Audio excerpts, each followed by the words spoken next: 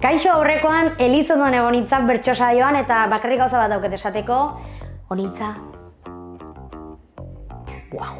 Baina, bueno, orokorrean sentsazio honekin geratu nintzen bertso saioa amaitu eta gero. Errimak, doinuak, oinak, puntuak, puntuak eta puntua. Puntu morea. Oinarri bezala hartu nahi dut Iñaki Apalategik ganbara atalean egindako interbentzioaren batez ere amaierako zati hori.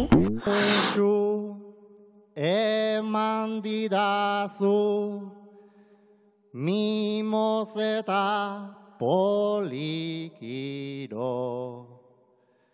malko txiki bat ere irten zait Ta orduan etzen giro, lastan zen nauzun aldiro, nere bihotzak enbido, nere bihotzak enbido, beste lastan bat eta pultsua, eunda berrogeira igo.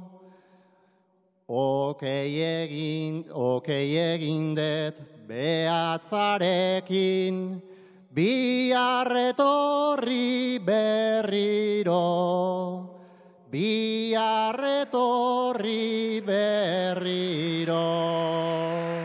Orokorrean gaia zan esku hartu dizut eta inartxoago sentitu naiz. Ta berak zaintza erromantizatuzun, hor kopetan musu bat eta zei zer. Eta oso kurioso izan zen denok imaginatzen genuela, ba izan zitekela ama arreba, eta maider arregi ondoan neukala esan zidan. Esan izango balu eskerrik asko inigo amaieran apurtuko liguke dena. Eta arrazoia du zen orokorrean sentsazio igual eukin nuen bertsosaio osoan zehar justo hori zala simbolismo maskulinoz beteta zegoela, suhiltzaileak, polizia, oso heteronormatiboa denbora guztian gaiak, naizta pertsona desberdinak gorpuztu, eta honekin ja amaitzeko seiko puntu motzean, Alaia Martinek eta Iñaki Apalategik berak, gaia justo zenean en, zuen irudiangatik telebistako langile bezala ipaituak izan zerate sare sozialetan, ez? Ba, Alaia Martinen pertsonaia esaten zuen berak erantzungo zuela. Eta oso kuriosoa izan zen nola gizonaren paperak ez zuen bere burua interpelatua sentitu eta aldiz emakumeak bai.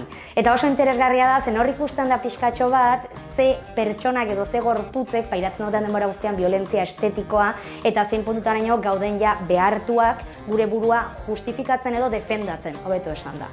Eta oso interesgarria alaiak emandako erantzuna eta zorionak alaria irabaztearekin. Adiós.